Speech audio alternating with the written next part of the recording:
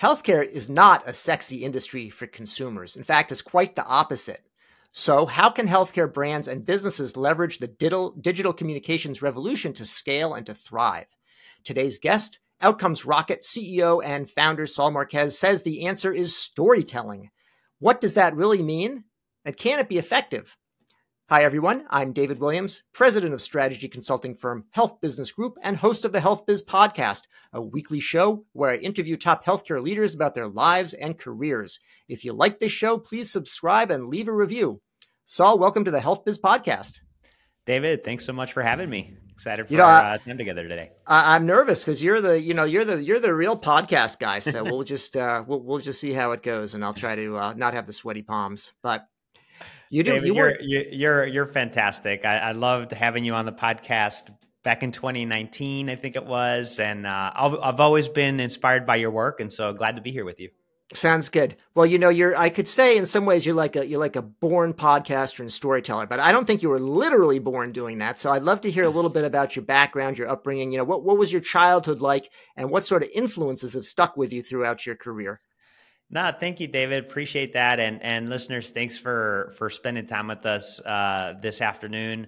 You know, um, my mom and dad came to the states from from Mexico. We we lived in the basement of my grandparents' house for a long time, and I was one of the first in my family to to get into college. And you know, along the way, I was inspired by my mom. You know, her fierce optimism and just constant support my uncle Leon showing me the hardworking ethic. You know, I, I had a, a, he got me a job early on, you know, cleaning toilets and and windows, and and he always told me, Saul, this is so you can see, you can do more. I, I want you to, to to do this because you could do more. Uh, but also, I want to I want to share about Julie Smith, a family friend who always helped me see beyond the bubble that I that I lived in, she would always find a way to inspire me. And I, am sure everybody listening, David, you too, could could think about that person in your life that inspired you. One day, she brought me a magazine, and in the magazine, there was a CEO of McDonald's, and I was floored, David, like that that that I found out he was of Mexican descent. And it opened up my universe. The possibilities opened, and I saw that there was a lot that I could do uh, in the world beyond sort of where I grew up in. And so, you know, I, have been inspired by a lot of people, um, and and uh, and I'm excited to to continue that, eh, be able to pay that forward for for people either listening today or or you know the people on my team at, at Outcomes Rocket. So a little bit about uh, me there. No, that's great. You know, I was, I think it leads a little bit into my next question about your education. A lot of times I ask people, you know, what they studied. It's usually like engineering or science or, you know, some, or, you know, something business. And, and especially like a story like that, like an immigrant story, a, a lot of times sort of one of the first in, to go to college in the family, it's got to be something like pragmatic, right? And, but I saw, and I'm not saying it was not pragmatic, but I saw your, your, your studies, not, not, not just humanities, but classical humanities. like it's, it's like it's almost it's almost another way of saying like this is not the degree you get if you want to get a job. Uh, yes, and and I, will tell you, my mom and dad thought I was crazy. Um, they're like, "What are you doing?" Well, then I I, I really like I felt the pressure. So uh, there was this summer where I took an internship and it was commission only and she's like what is this kid doing? Like like one thing like, like history now he's commission only. And i remember three weeks into the job i came home and i showed her my paycheck. Yeah.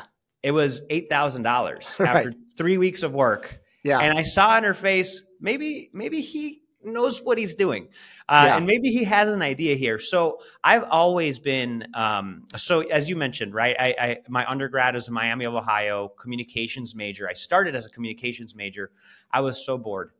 Um, and and uh, you know I've always been a speech and debate geek, so I've always been into program oral interpretation, debate, just a, a passion for for communication. I, I took a summer trip with a friend to Europe and I remember being at the Acropolis. Yeah. The the the foundation for Western civilization. I couldn't read a, a lick of Greek And I, and when I came back, I said, I'm gonna I'm gonna take a, a Greek class, and that was that was it. Like I got hooked.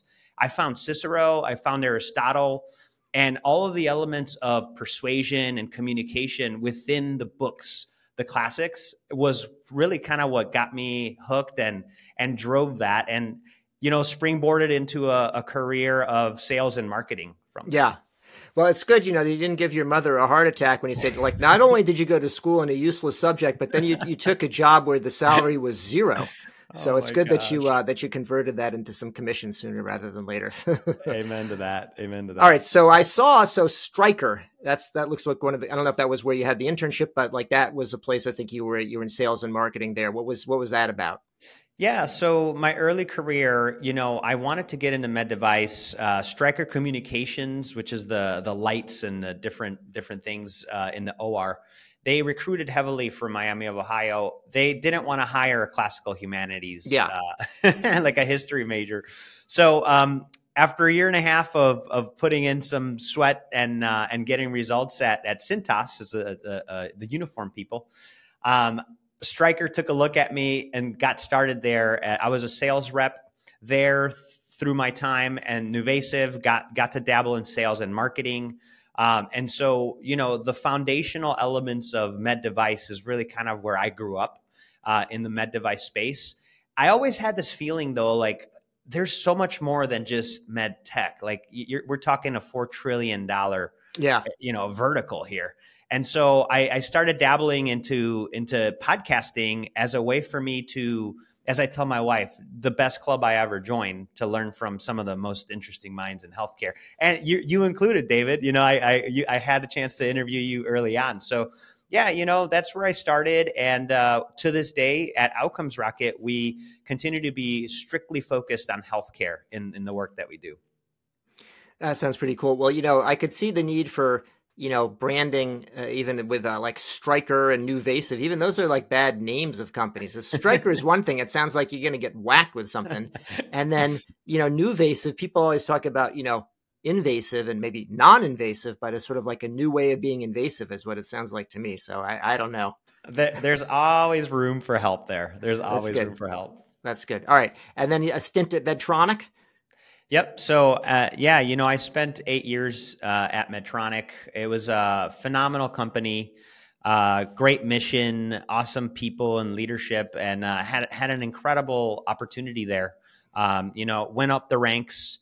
You know, became VP, and I just that's when I realized like I wanted to do something more. I, I got sort of got tired of the corporate gig, that lifestyle, and uh, and I started that's when I decided to start a marketing agency to to really help help a lot of leaders that are that are forced to take a look at different ways to represent their companies. And so that's kind of how how that came about. Got it. You know, I feel like I'm channeling your mom here again. So let's say you got a a job at you know a VP job at Medtronic, which is really like a great a great company, and say I have an idea. Why don't I stop doing that and I'll take I'll, I'll start a company and it's going to do a podcast and put them out in the market for free and people can listen to them for nothing. what, what, what does the family think about that? Oh man, let me tell you, it was a it was a conversation with my wife. Yeah, and and um, uh, you know, because she you know stopped working three years ago, so you know the sole breadwinner um, I it wasn't completely you know done out of the blue. So there yeah. was a there's there was a methodology in the approach, and for a lot of folks, you know, in chatting with you, David, I, I hear there's a lot of folks listening to us that are possibly thinking about making the jump. It's hard with the as they call the golden handcuffs, right? When things are going well, you're getting those nice paychecks, the consistency. Um, if you allow yourself to to be pulled by a mission, something bigger than yourself. And then you match that inspiration with data. Um, and, and that's what, what, I, what we did, right? So Outcomes Rocket became a, a, a marketing agency that we started getting clients. And so the data showed us not only people paying us, but the data also showed us that there was huge opportunity. There's companies that range from a million dollars a year to $800 million a year. Marketing agencies solely focus on healthcare. So we saw there's huge potential here. uh, after 17 years of working and saving money, we we were in a position to to take that risk. And uh, and last July is when I took the leap of faith. Um, and and look, it's been it's been a, a great learning experience. A lot of humbling things. David, I mean, how long have you been running your thing? Yeah, yeah since before the dawn of time. I mean, it was uh, I started, actually the last paycheck I got was in 2001. So 2001. yeah. Wow. So you're, I mean, your jump, right? You were, you probably had something reliable, and then you went for it. Yeah. No, absolutely.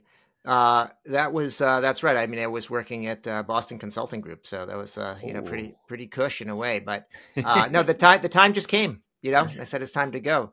But I didn't have my own rocket ship, you know, and I do like, by the way, Outcomes Rocket is a lot, but whatever the hell it's supposed to mean, it, it sounds a lot better than Nuvasive or uh, you know Stryker or something like that. Why, why Outcomes Rocket? Like, what is that name? Yeah, thank you. You know, um, Outcomes Rocket, it's a two part name. Outcomes is really, it's got two sides to it. Outcomes, because we're healthcare, healthcare outcomes. We work with healthcare leaders that are looking to improve healthcare and they need the help to get found and tell their story. Uh, outcomes is also results. You know, without margin, there's no mission. And so we're we're laser focused on helping our, our clients, our friends, uh, get those results. And the rocket came, was inspired by uh, Google, actually. So this idea of moonshots. Yeah. And, and don't go for 10%. 10% is boring. Like yeah. if you want to inspire somebody, if you want to inspire somebody to invest in you, it, to trust your company, it's about 10x, man. It's about being able to show results that move people's hearts, uh, not just say, okay, you know, like, and so that's what the rocket's about. Yeah, yeah, yeah. Got it. So it's not like yeah. outcomes like retro rocket or the little stabilizer rockets that they have once the thing is in orbit. It's actually about blasting off. Blasting and off. and you know, why podcasts? I mean, you, you sort of talked about getting to know people, but why was that really the way to go? And I think you were engaging a little bit of revisionist history before. I think my out, I think I was on 2017.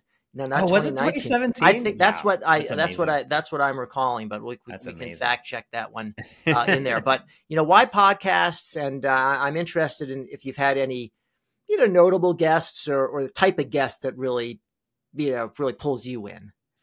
Yeah. So actually the why behind it, you know, my last year of school, I, I, uh, so Miami has a school in Luxembourg. So I did the five year plan. So I had an extra semester. Nice. And I, w- I went to, to Luxembourg. It was, and my intention was I, I took a camcorder with me. And my intention, I had done some leadership studies. My intention was to go around Europe and interview leaders and I didn't do that. I just I just visited countries and I had a blast. So I always had this unfinished business that like I needed to do it. And I remember when I ultimately decided to do Outcomes Rocket, it was part of that unfinished business from my time in Luxembourg.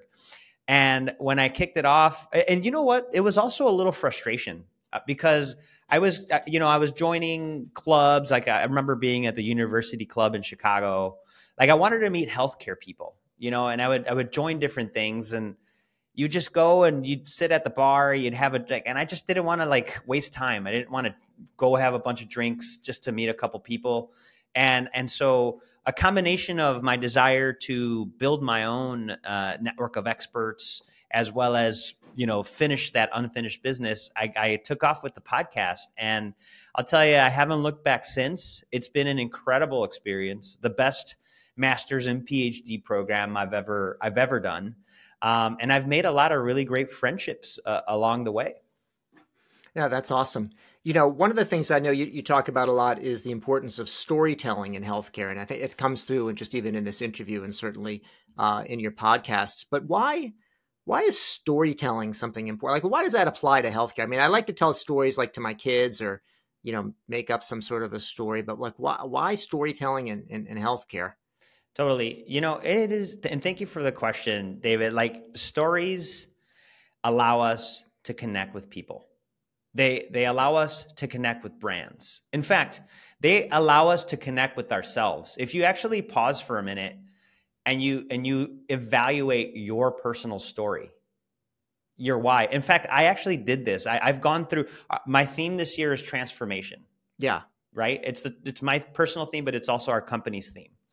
I, I underwent a transformation that that also included stories within myself that I 17 years of being a corporate successful person those stories had to change if I was going to be able to evolve to the next phase of my career, which is being an entrepreneur. Here we are, right? Um, so I'm inspired by somebody like you, David, that did it so long ago. And all of these examples of people, storytelling begins with yourself. And as a leader, you've got to think about your stories and how are you using your personal stories to inspire your team, to inspire your family. But if you if you zoom into your question about like healthcare, yeah, stories make a difference, and they they allow us to inspire others to take action, and they allow us to connect. And and at the end of the day, it's it's it's that human fiber that that really kind of brings us all together. Before the written word, there was the story and that is why I love podcasting, David. It, it, like if you think about, I had actually friend said this. He's like, if you think about it, Saul, uh, Dan Kendall, he's the uh, Health Podcast Network guy. Yeah, uh, great friend of mine. Uh, he said this to me. He says, "What's the first thing that you hear? Like you hear voice, human voice, in, in when you're in your, your, you know, you're an embryo. Yeah, you know, you're in the womb. So it, there's no surprise that when you take a look at the competition for attention." and a couple seconds on Instagram, a couple seconds on LinkedIn, a couple seconds on email. 14 minutes is the average attention span that you can get with podcasts.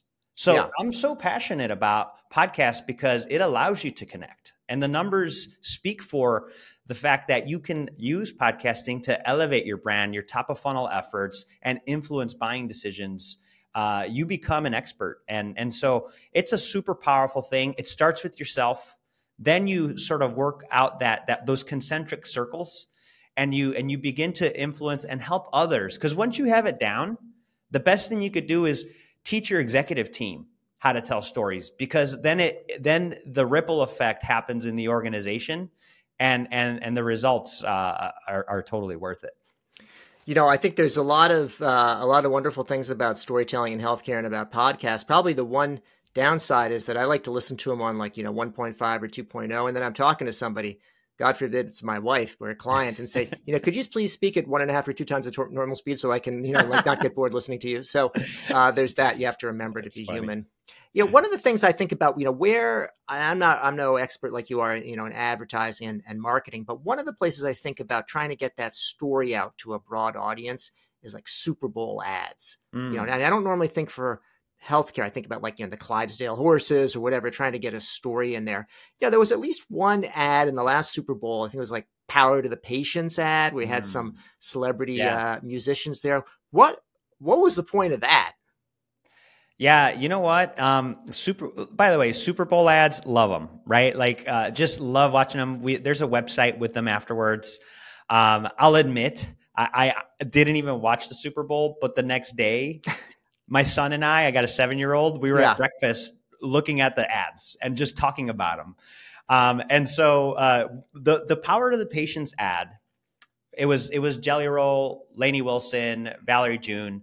First and foremost was about awareness and, and you know reports have shown that awareness of the No Surprises Act is in the high single digits. Mm-hmm. So the motivation there was about helping Americans understand that there is this thing called the No Surprises Act. And, and the intention of the No Surprises Act is to make sure that as a patient, you, you there's a cap on what you could be billed for out of network services. And it requires insurance companies and providers to negotiate fair payments. And and and so a lot of people don't know about this. And and so that campaign was a grassroots campaign to inform Americans that this is a thing and that it's out there to to protect us Let, let's contrast you know, marketing and advertising, storytelling in the healthcare space compared with, let's say, a consumer business. Mm-hmm. You know, is it is it like night and day, or are we using the same principles and expect to have the same impact? We always think healthcare is different, but like and I and my I guess my first reaction is like I don't want you know advertising and marketing and healthcare. Maybe that doesn't make sense. I, you know, maybe you know for my phone or computer or you know whatever consumer experience. But like, how does it fit?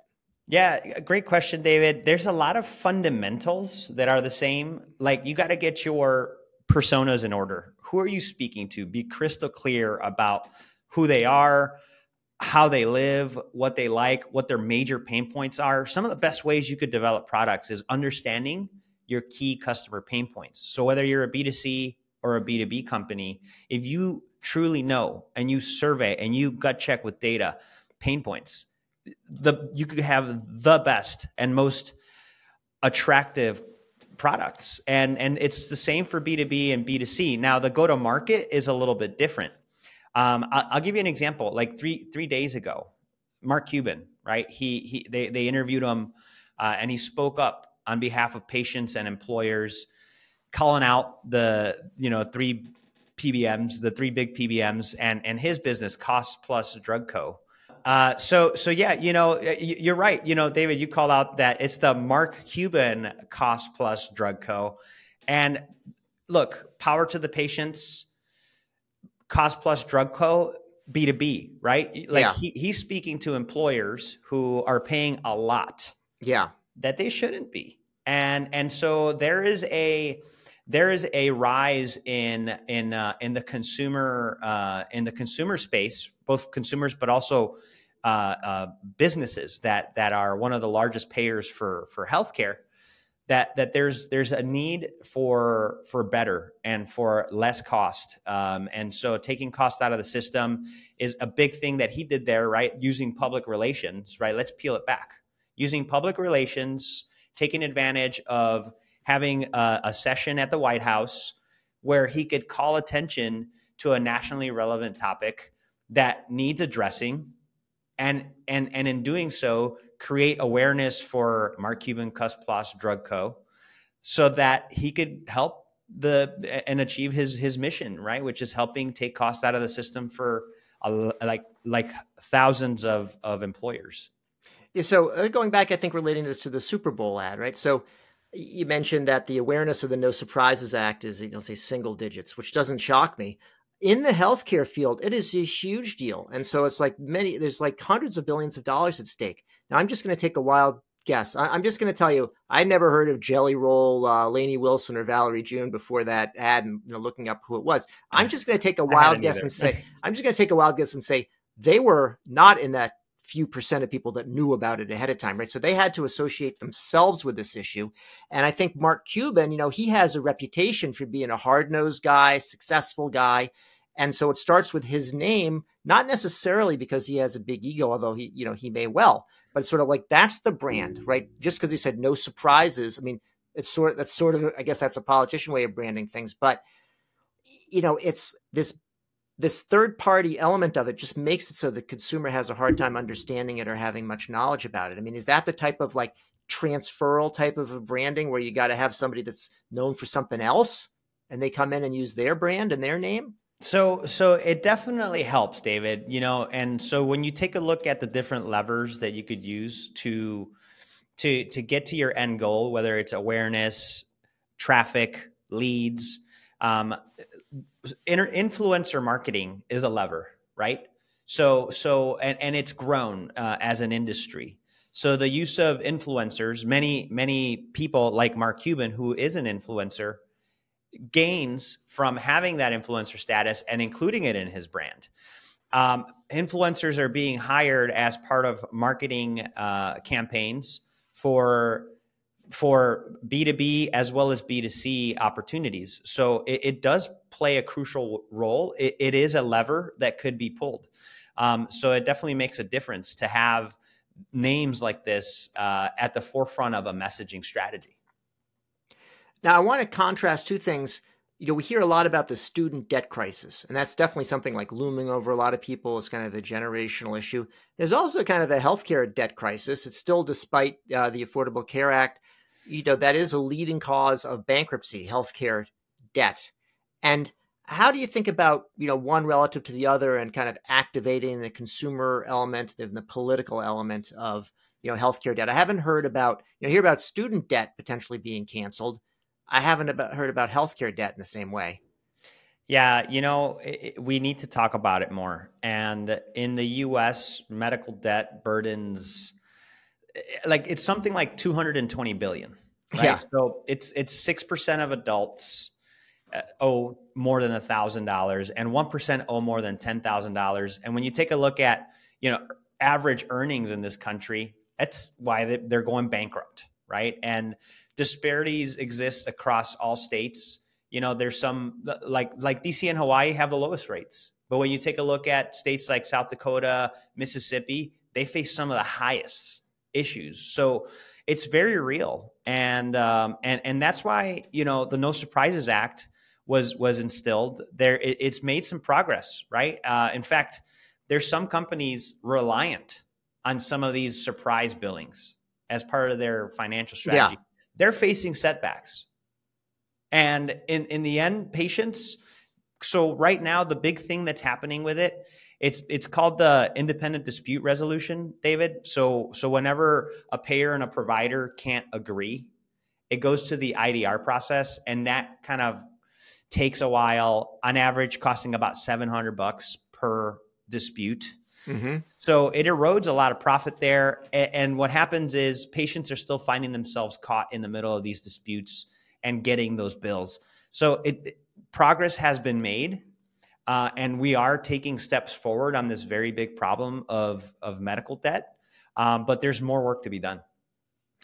So it sounds like you know it's a big, broad industry you're mentioning, and you weren't satisfied to be in med tech, which is probably like a hundred billion dollar slice of the uh, four trillion dollar market. And your agency is is you know more focused. It could be big, but it's still not going to probably take on the four trillion where is the focus where are you getting traction both in terms of you know maybe the segment within the healthcare space and size of organization like who's what's your sweet spot? Yeah no thanks for the opportunity to share that david. We there's two sweet spot for us two sweet spots. Um, our biggest sweet spot is we really are making a huge impact with software as a service healthcare focused companies selling to payers and providers. They have they have a, a tech stack that can make a huge difference in solving a lot of the problems, whether it's taking costs out, decreasing uh, uh, physician or clinician burnout. Uh, uh, you know, there's there's addressing cybersecurity issues like your company, David. You know, there's there's a, a, huge sweet spot for us there. We're able to help. We identify with them. One of the big things that we pride ourselves on is our innovative approach and and our, our speed. And so working with a lot of these these companies that have been funded that are looking for big impact, we really have have uh, have made strides and and gotten big wins for them. You know, and secondly, it's medtech. Given that I spent 17 yeah. years in that business, I know it well, uh, and we're able to to get some solid wins for for our medtech uh, uh customers. Sounds good. Well, we'll we'll get put this you know put the SaaS and SaaS and uh, whatever medtech needs uh, for it to succeed. so I love those love those stories. I want to ask a, a final question, which is sure. about whether with all of what you're doing, if you have a chance to read any books, anything you would recommend, whether in Greek or English, uh, as as you would. Yeah, you know what? I, I love reading, um, and I read a lot of books. Um, one of the ones that I've been meaning to pick up that I haven't um, uh, until uh, last month was uh, Beyond Positive Thinking by Dr. Robert Anthony. I don't know if you have a chance to read that one. No, I just read the cover. I didn't read the book. Should yeah. I read it? Eh, listen, the cover didn't get me, but then no. like it was literally like three, four. So talk about bad marketing, right? Like you got to fix your cover, Dr. Robert yeah. Anthony. um, but it was it was literally about four or five uh, recommendations later that I'm like, okay, like and people that I admire, they said you got to read it. Beyond positive thinking is is is what it says. So, but you can't capture that. So, it's not about positive thinking alone. Mm-hmm. It's beyond positive thinking. So, so he goes and he and he lays out there is right thinking that is data backed and it's like an algorithm. So, so if you have the pieces and you and you could go through this thought process, this this this algorithmic right thinking, you could produce results time over uh, and, and, it just uh, it, it's brilliant. So uh, definitely a, a, well recommended book that I'd uh, share with you and and the listeners. That sounds good. Well, we'll have to get the author on for a podcast uh, one of these days. Then, great. Sure. Well, Saul Marquez, CEO and founder of Outcomes Rocket, thanks for joining me today on the Health Biz podcast to talk about storytelling in healthcare. Thank you, David. You've been listening to the Health Biz podcast with me, David Williams, president of Health Business Group. I conduct in depth interviews with leaders in healthcare business and policy. If you like what you hear, go ahead and subscribe on your favorite service. While you're at it, go ahead and subscribe on your second and third favorite services as well. There's more good stuff to come, and you won't want to miss an episode. If your organization is seeking strategy consulting services in healthcare, check out our website, healthbusinessgroup.com.